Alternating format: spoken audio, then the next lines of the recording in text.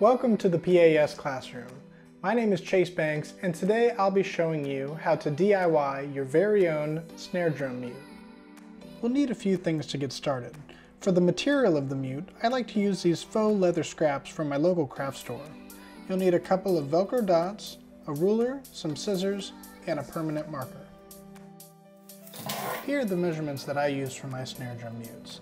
Screenshot or write down these measurements for later. Now it's time to take your ruler and sketch out the snare drum mute on the material.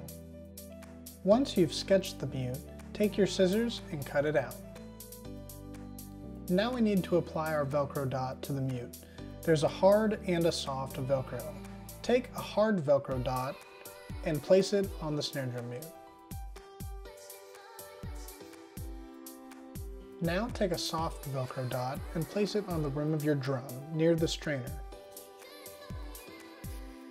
One last tip, take the snare drum mute, fold it up, and place it underneath a heavy book or even a piece of furniture.